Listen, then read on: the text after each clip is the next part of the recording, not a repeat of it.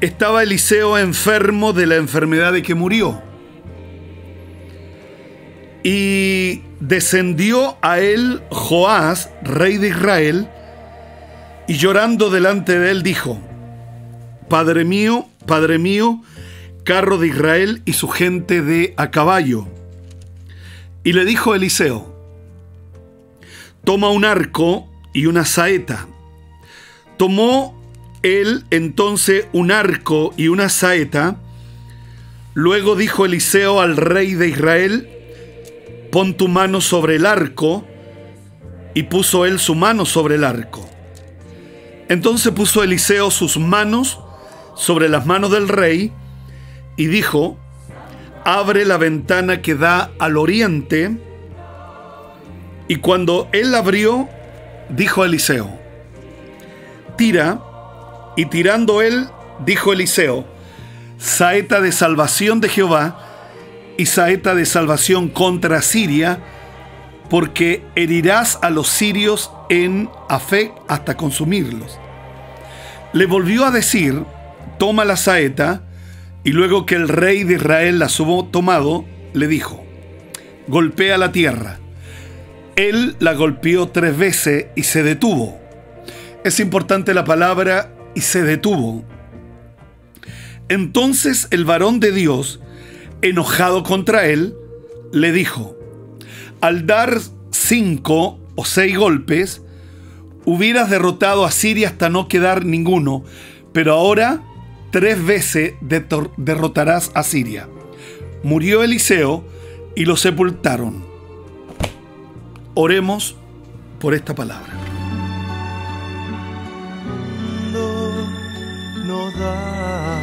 Padre Celestial, quiero darte gracias en esta mañana por tu gran amor y por tu gran misericordia que tú tienes para cada uno de nosotros. La escritura dice que Dios tiene cuidado de nosotros. Y hoy venimos delante de ti, Señor, para agradecer un nuevo día, nuevas expectativas, nuevos sueños, anhelos, deseos de nuestro corazón y las presentamos delante de ti en esta hora de la mañana. Cierro mis ojos delante de ti, Señor, por cuanto reconozco que separado de ti, yo nada puedo hacer. Es por eso que revélame tu palabra, enséñanos tu palabra, guíanos a través de tu palabra, en el nombre que está por sobre todo nombre. En el nombre de Jesús. Amén y amén.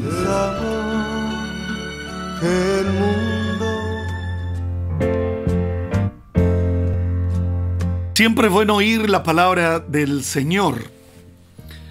Lámpara es a nuestros pies su palabra y lumbrera a nuestro caminar. Dice la Biblia que estaba Eliseo enfermo y dice la escritura que murió de esa enfermedad. La Biblia no señala qué enfermedad, solo dice estaba Eliseo enfermo de la enfermedad de que murió. Se calcula que Eliseo tenía alrededor de entre 85 y 90, y 90 años. Y esta es la historia, el relato bíblico, y es un relato especial de lo que pasa entre el rey Joás y Eliseo. Y es un relato especial porque lo único que hace Eliseo y, se muere de acuerdo a esta palabra. Es curioso ver a un Eliseo que Dios lo usa en milagros. Recordábamos el milagro de, de Naamán, él, el, general del ejército de Siria, como por una palabra de Eliseo, el general es sanado la lepra. Pero aquí vemos a Eliseo enfermo. Él, él no está sano, él está enfermo. Y de hecho, él muere de esta enfermedad. Entonces, quiero hablar del monarca, del rey de Israel, que se llama Joás, que hizo lo malo delante de los ojos del Señor. Pero que él viene en los últimos días de la vida del profeta, del viejo profeta, a reconocer y, y entendió el rey que Eliseo fue un gran beneficio para Israel y especialmente para los hijos de los profetas. Cualidades características de los hombres de Dios que no solo son una bendición para la nación, que no solo son una bendición para el país, sino que también para nuestras generaciones. Debe haber una marca clara de que la palabra del hombre de Dios marca también a los hijos de los profetas, a, las generaciones, a los hijos de nuestros hijos y a los hijos de nuestros hijos. Que no es solo una palabra para la nación, que no es solo una palabra para la comuna, que no es solo una palabra para la ciudad, sino que también es una palabra para los hijos de los profetas, de los cuales ellos fueron tremendamente bendecidos por la vida de Eliseo.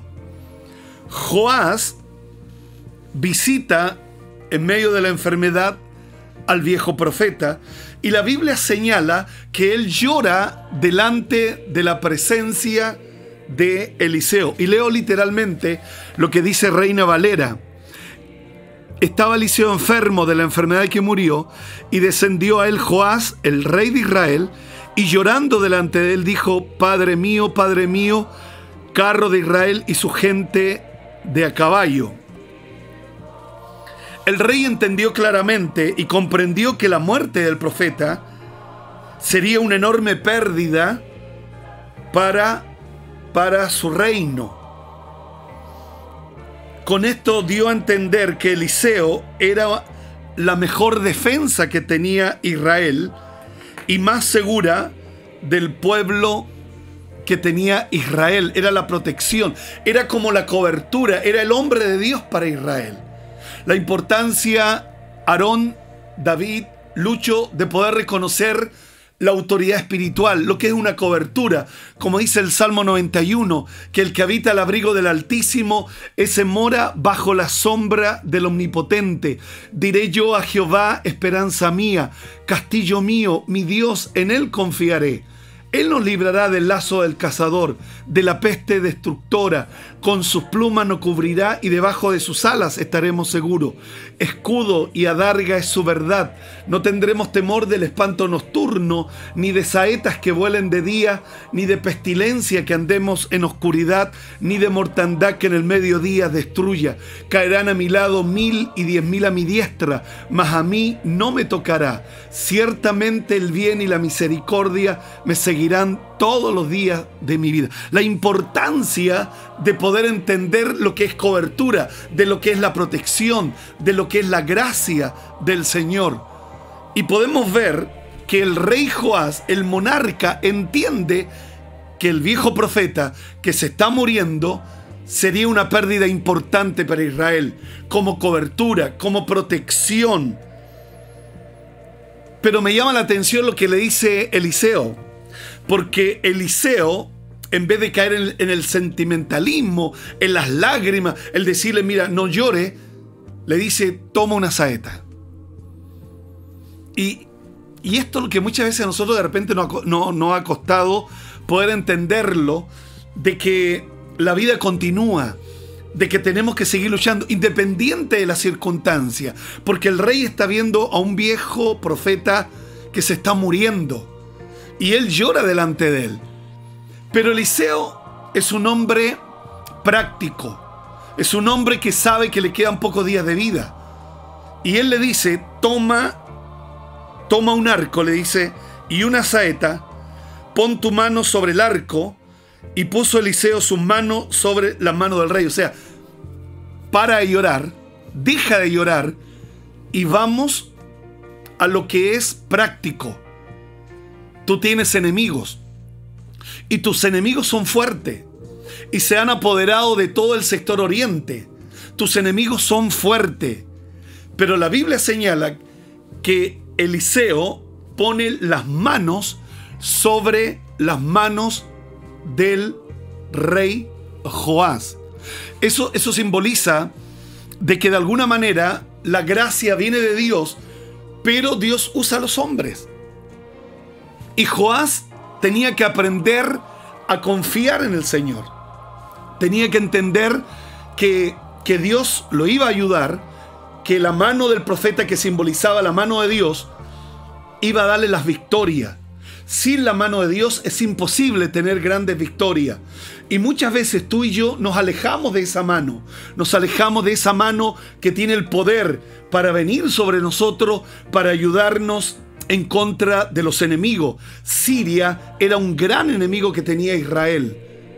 Pero si la mano de Dios estaba con el rey, todo iba a ser más fácil, todo iba a ser más simple, todo iba a ser más, más fácil para la vida del rey. Eliseo le dio al rey gran seguridad del éxito que había de tener sobre los sirios y leo literalmente la palabra, pon, tu mano sobre el arco, y puso él su mano sobre el arco. Entonces puso Eliseo su mano sobre la mano del rey y le dijo, abre la ventana que da al oriente. Y cuando él la abrió, dijo Eliseo, tira. Y tirando él, Eliseo dijo, saeta de salvación de Jehová, saeta de salvación contra los sirios. O sea, Eliseo le garantiza el éxito. Y eso es lo tremendo de la escritura. Y eso es lo tremendo de Dios. Y eso es lo tremendo de la palabra. Que Dios siempre nos garantiza las promesas. Que no son simples promesas. Sino que se ha declarado una palabra. Y la palabra es saeta de salvación. Saeta de salvación en contra de los sirios.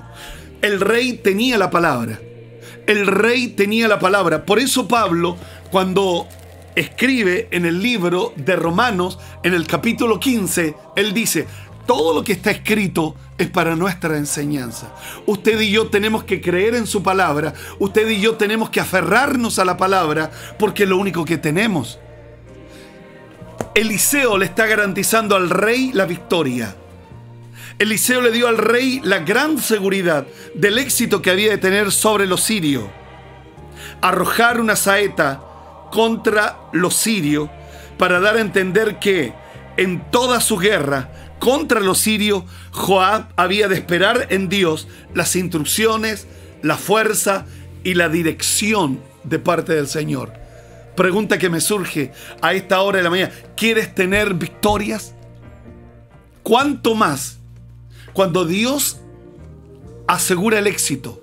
Cuanto más cuando Dios te suelta la palabra y tú crees a la palabra bendita, bendita del Señor. La importancia de tener un viejo profeta, Aarón.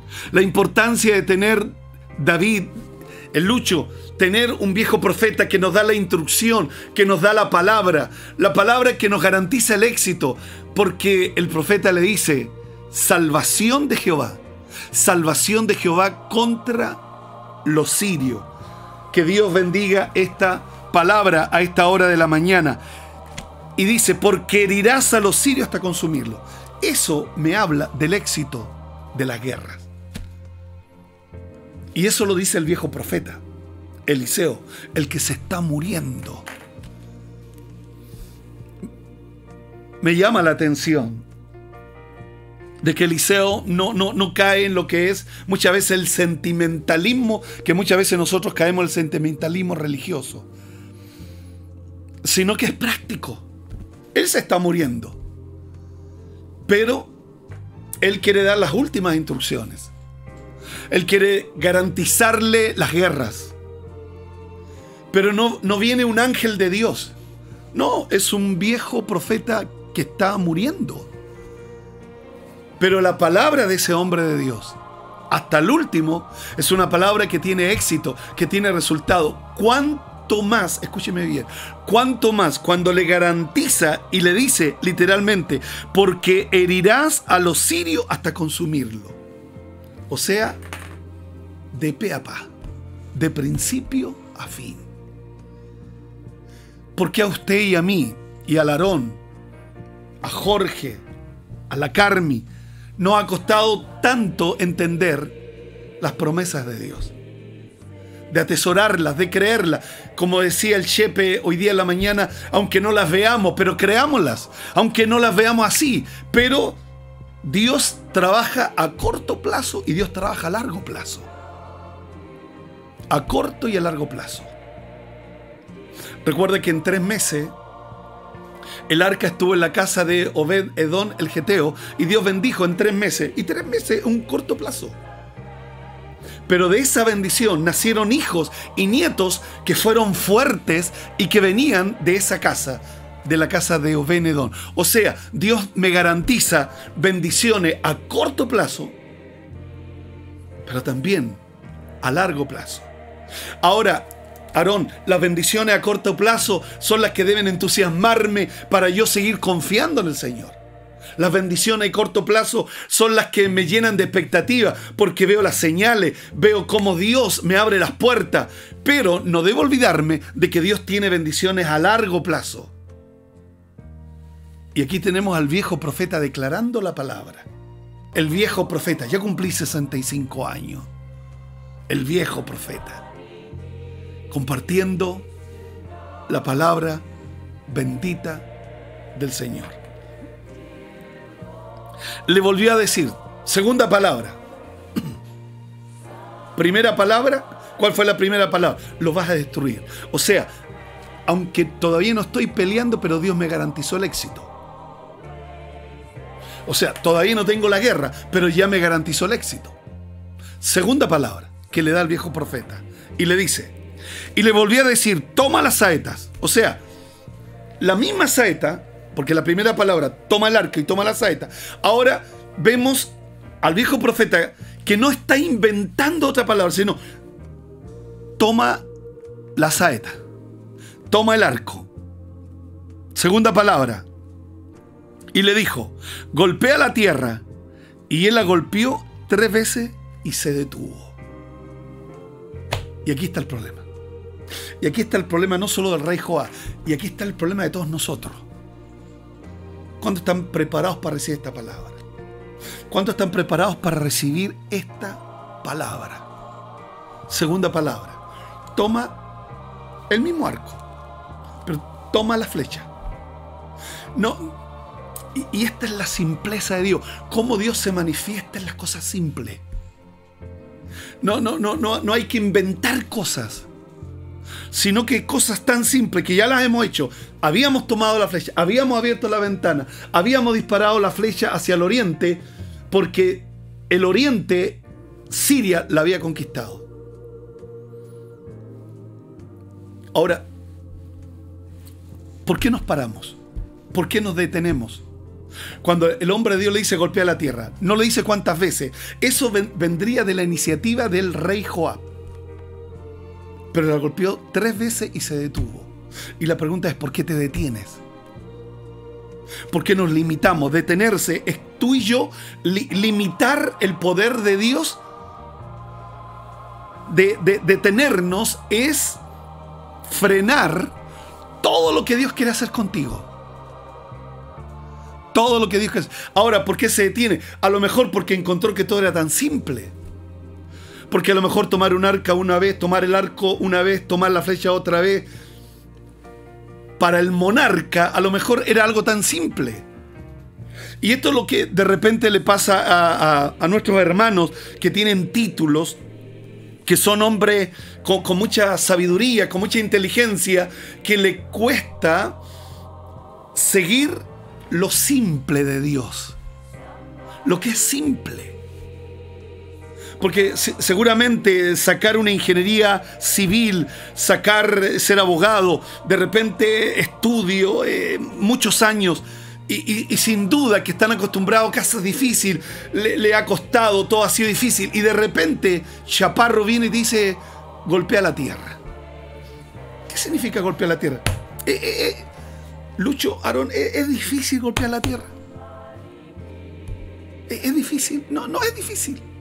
¿Es complejo? No es complejo. Solo había que obedecer.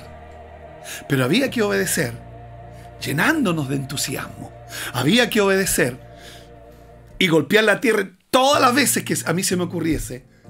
Porque eso simboliza que me, lleno de expectativa de las promesas de Dios. Y aquí es donde tú y yo fallamos. Porque nosotros no nos llenamos de expectativas de las cosas que no vemos, de las cosas tangibles. No, no nos llenamos de expectativas de las cosas tangibles, de las cosas que vemos. No. Nosotros nos llenamos de expectativas de las cosas que sí vemos. Pero nosotros no nos llenamos de expectativas de las cosas, de las cosas que no vemos. Él se detuvo. ¿Por qué nos detenemos? ¿Por qué nos paramos? Porque esto es por la fe. Y Eliseo se enojó. El, el, viejo profeta está muriéndose. Y él se enoja. Porque él se paró. Pablo decía, ¿quién, quién nos estorba de la gracia del Señor? Porque nos paramos, nos, nos detenemos. Vosotros corrías bien, dice la palabra. Vosotros corrías bien. Pero ¿quién nos estorbó? ¿Qué es lo que a ti y a mí nos estorba que nos paramos a no, a no seguir confiando, a no seguir creyendo? El rey Joá, y le voy a decir, el rey, el viejo profeta, se enoja porque Joá no tenía entusiasmo. Tres veces. Nada más y se paró. No mostró empeño, no, no, no mostró entusiasmo a las promesas. Vas a derrotar a los sirios hasta consumirlo. Él no se llenó. Para un, para un rey hay algo súper importante, la seguridad. Es súper importante derrotar a los enemigos, avanzar, conquistar. El viejo profeta no le habló tontera, le habló de algo que el rey necesitaba, trascendente, de algo importante, de algo glorioso. Derrotarás a los sirios hasta consumirlos. Era para que saltara como becerro en la manada. Era para que saltara como becerro en la manada. Y de repente te veo, y te lo digo, de repente te veo viendo a Dios moviéndose de manera tan gloriosa, pero a nosotros no nos llena entusiasmo. No, no nos llenamos de entusiasmo y menospreciamos las señales de Dios. Las menospreciamos. Vamos a comenzar el año fiscal. Y el Señor te dice a esta hora de la mañana, golpea tres veces, pero no te detengas. Golpea una y otra y otra y otra y otra y otra y otra vez. No te detengas.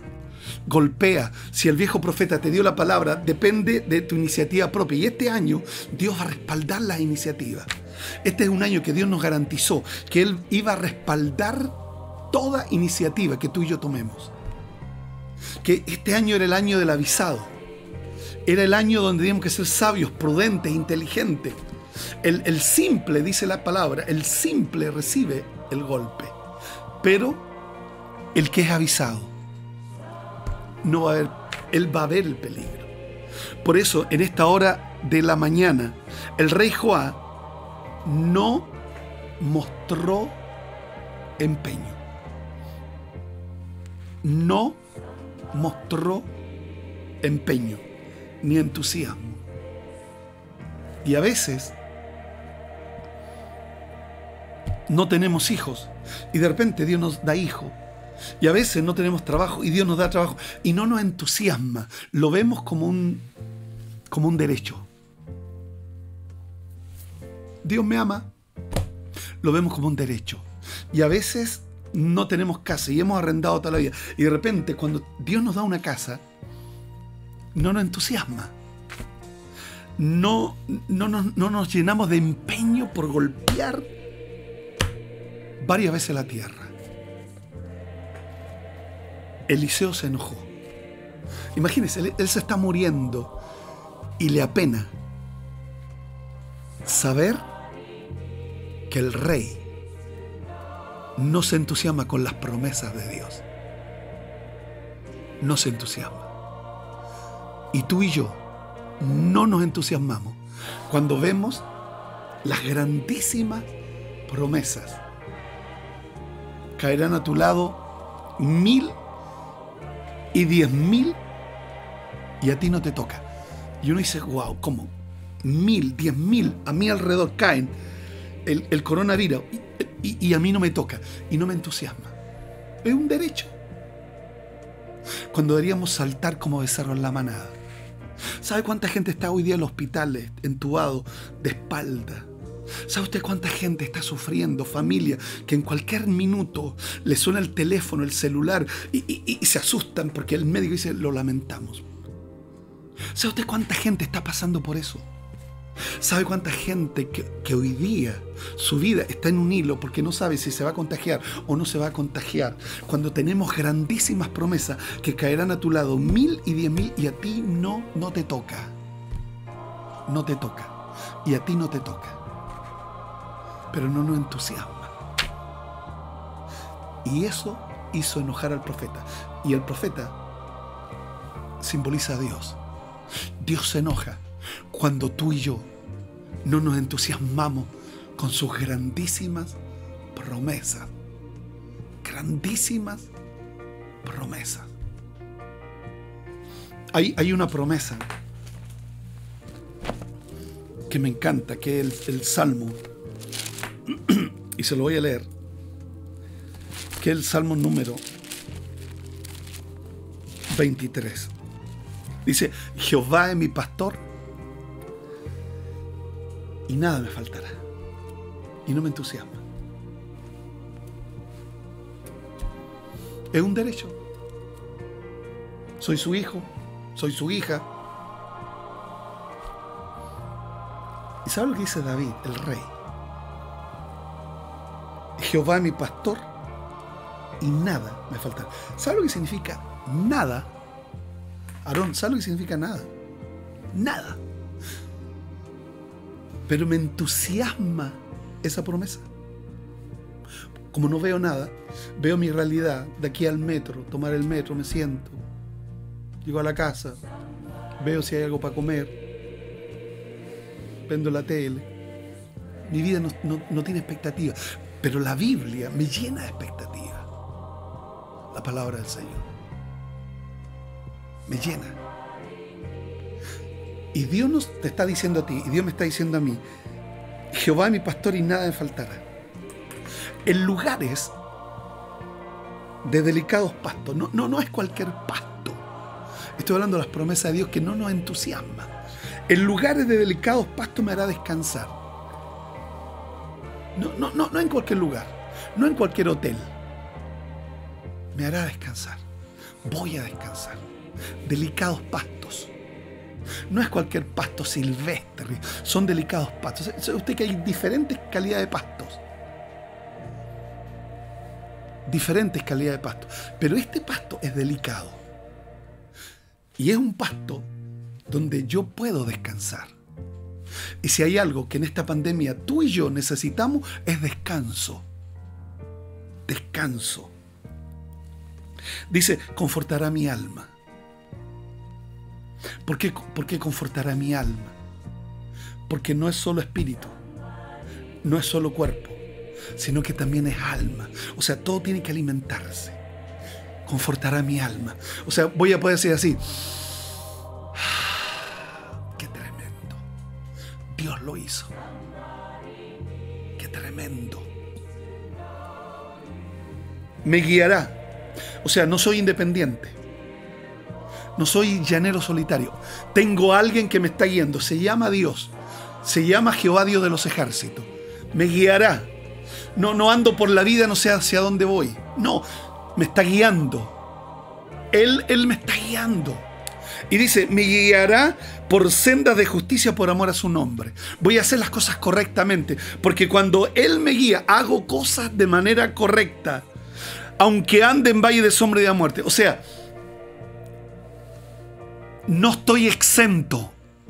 Vamos, escúchame, no estoy exento de valles de sombras y de muerte, de temores y de miedo. No estoy exento. Pero mire la promesa, no temeré mal alguno porque tú estarás conmigo. Eso debe llenarme entusiasmarme. Y tal vez hay alguien que me está escuchando ahí en, un hospital. Y tal vez hay gente, y esta palabra es para gente que me está escuchando ahí en los hospitales, en las clínicas, en los hogares llenos de temores y de miedo. Dice, aunque ande en valle de sombra y de muerte, no temeré mal alguno, porque tú, tú, Dios, estarás conmigo. Tu vara y tu callado me infundirán aliento. O sea, tu vara y tu callado me infundirán aliento. El callado al palo para de los enemigos. Y, la palabra del Señor dice, adereza mesa delante de mí en presencia de mis angustiadores. ¿Qué, qué, significa eso? Que, que tú te sientas a la mesa, una mesa llena, y tú puedes disfrutar y vas a ver a tus enemigos. Y tú estarás sentado en una mesa disfrutando de la gracia y de la bendición de Dios. Y la palabra dice, adereza mesa delante de mí en presencia de mis angustiadores. Unge mi cabeza con aceite, mi copa está rebosando. Promesa que Dios me da, mi copa. Por ser esta copa no está rebosando, está casi llena, pero no está rebosando. Esta copa está casi llena. Aarón, esta copa está casi llena pero no está rebosando. Pero la copa que Dios te promete es una copa rebosando. ¿Qué significa eso? Que viene más agua, Charlie, y se me va a caer, se va rebosando. Esa es la copa que Dios ha diseñado para ti. Es una promesa, pero no me entusiasma. Por eso se enojó el profeta, por eso se enoja Dios con nosotros, porque no nos entusiasman sus bendiciones, sus promesas. No le ponemos empeño y sigue las promesas. Ciertamente el bien y la misericordia me seguirán todos los días de mi vida. No es tal vez, no es quizá, no es a lo mejor, te seguirán. Enfático, te seguirán todos los días de tu vida. Promesa. Te seguirán todos los días de tu vida. ¿Y qué es lo que te va a seguir? ¿El mal? Te sigue el bien y la misericordia. Todos los días de nuestra vida. Entonces tal vez hay, gente que, me está escuchando y dice, pastor, pero a mí me han pasado problemas. Los problemas son para, para que tú y yo crezcamos, para ese bien y esa misericordia, para alcanzar sus promesas. Y a veces tú y yo pasamos por situaciones difíciles para que crezcamos, porque no estás creciendo, porque te detuviste, te paraste. Debiste haber seguido confiando en el Señor, creyendo en el Señor. Poderoso es Dios. Tremendo. Por eso se enojó el viejo profeta con el rey, porque no se entusiasmó. Y la última palabra, la última promesa. Ciertamente el bien y la misericordia me seguirán todos los días de mi vida y en la casa de Jehová estaré por largo, por largos días. La casa, unido a la casa de Dios, unido a las transmisiones, unido a la búsqueda. Imagínese, el viejo profeta va a orar por los, estudiantes y no me entusiasma. Y no me entusiasma.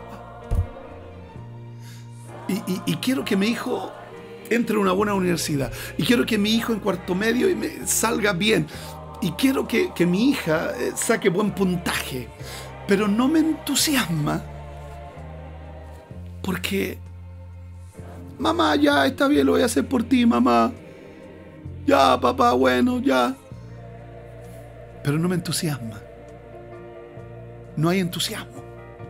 No le ponemos empeño de poder escuchar la palabra, de poder entrar en las conexiones y de poder decirle a otro, mira, escucha, van a orar por tus hijos. ¿Qué pierdes si oran por tu hijo? No te preocupan cuando los maldicen en las calles cuando los maldicen por, por redes sociales.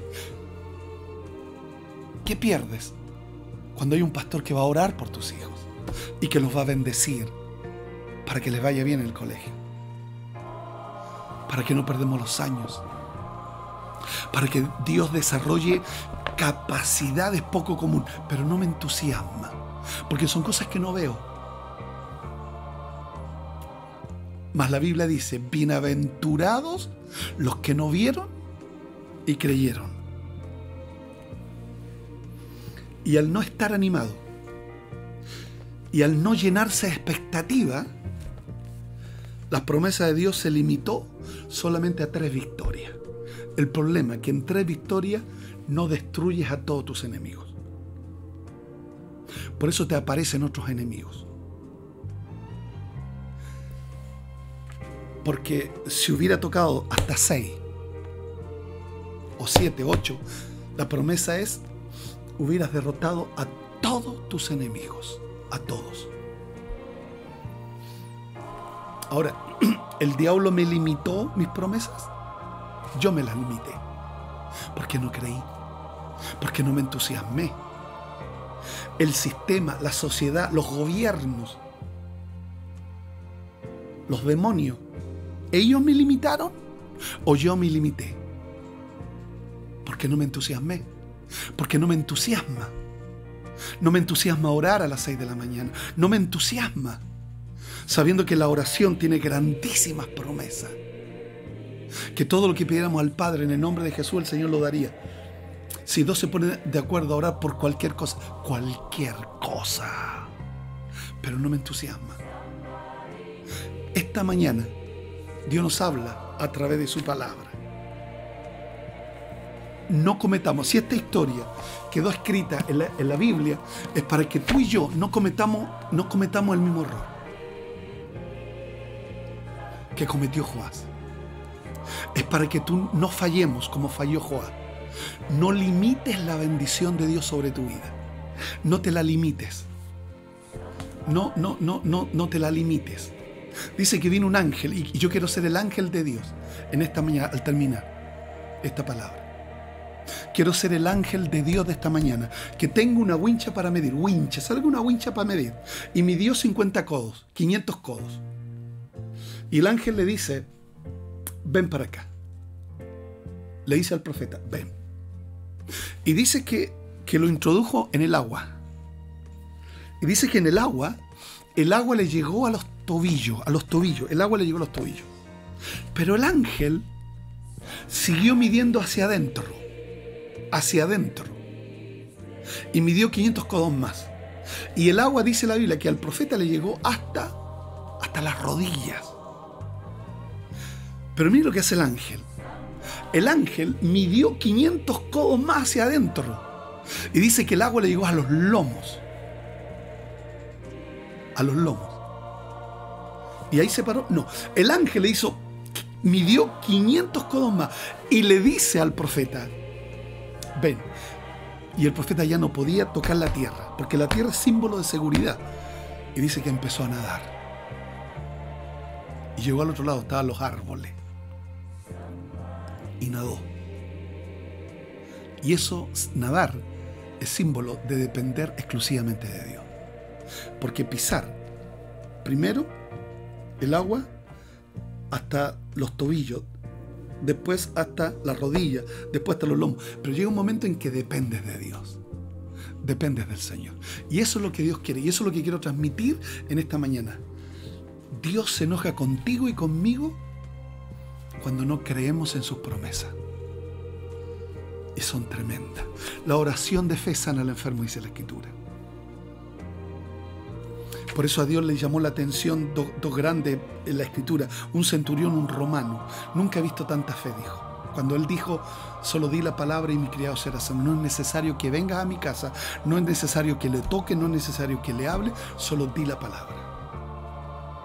Y una mujer cananea que a pesar de que él la ignoró, que a pesar que él no la pescó, a pesar de que los discípulos decían, cállate, ella siguió. Hasta que al final se arrodilló y le dijo, Señor, ayúdame. Y él le dijo, no, es bueno tomar el pan de los hijos y dárselo a los perrillos. Y ella le dijo, es verdad, reconozco que soy una perrilla, lo reconozco. Pero la ley dice, la palabra de Dios dice, que aún los perrillos comen de las migajas que caen de las mesas de los amos. Jesús le dijo, mujer grande es tu fe, hágase contigo como quieras. Cuando tú tienes una fe grande, lo que quieras.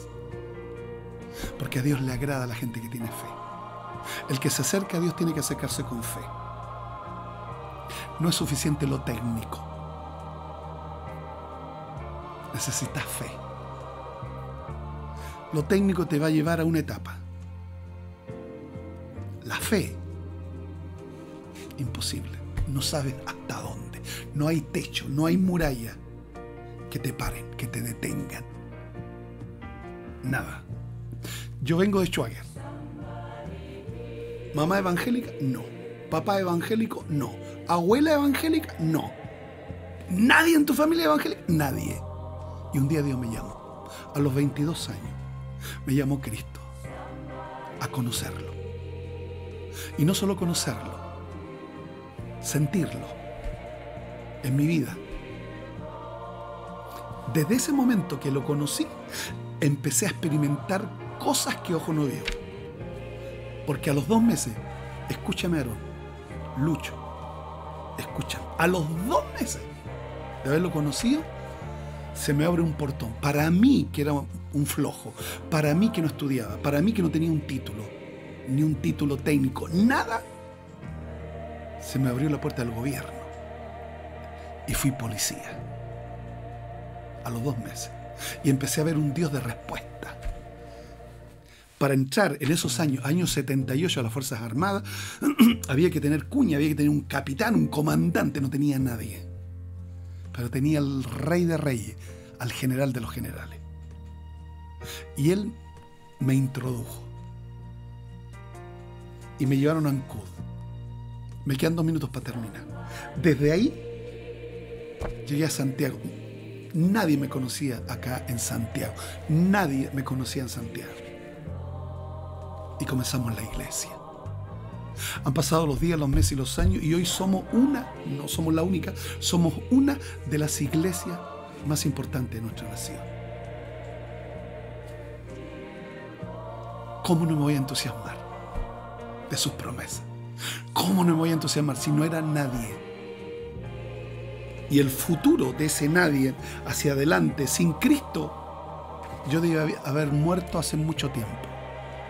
Pero con Cristo Él vino a darme vida y vida en abundancia. ¿Cómo no me voy a entusiasmar? ¿Cómo no voy a perseverar en sus promesas aunque no las vea? Y digo como David, hubiese desmayado si no creyese que veré la bondad de Dios en la tierra de los vivientes. Voy a ver la bendición del Señor. Que Dios nos bendiga. Que Dios derrame ricas bendiciones sobre tu vida. Y sí es bueno recordarlo. Dios se enoja contigo y conmigo cuando sus promesas, su palabra no nos entusiasma. Qué hermoso mensaje hemos podido escuchar y qué bueno que te quedaste en nuestra sintonía. Si por primera vez escuchaste un mensaje como este y hoy quieres tomar una decisión de abrir tu corazón a Jesús, te invitamos a que puedas realizar la siguiente oración. Repite conmigo. Padre Celestial, gracias por este tiempo en el cual puedo escuchar tu palabra, creer en mi corazón. Hoy me arrepiento de todos mis pecados y te acepto como mi Señor y como mi Salvador. Y te doy muchas gracias por el regalo de la vida eterna. Gracias por lo que tú vas a hacer a partir de hoy en mi vida. En el nombre de Jesús, amén y amén. Si tú hiciste esta oración, te damos eh, la bienvenida a la familia de la fe. Estamos muy contentos. La palabra del Señor dice, las cosas viejas pasaron, todas son hechas nuevas en Cristo Jesús. La información para que te puedas contactar con nosotros y puedas ingresar al plan de plantados está saliendo en este momento en pantalla. Ven, ingresa y sé parte de lo que Dios está haciendo en la Iglesia de Cristo, tu única esperanza. Bendiciones. Sociales. Búscanos en Facebook como Cristo tu única esperanza y también en Únete Jóvenes, en Instagram como arroba ICTUE oficial y también en arroba Únete Jóvenes, en Twitter como arroba ICTUE. Dale like, coméntanos y comparte todo nuestro contenido digital. Queremos bendecir tu vida a través de las redes sociales. Somos Cristo tu única esperanza y ocupamos todos los medios para proclamar la palabra de Dios.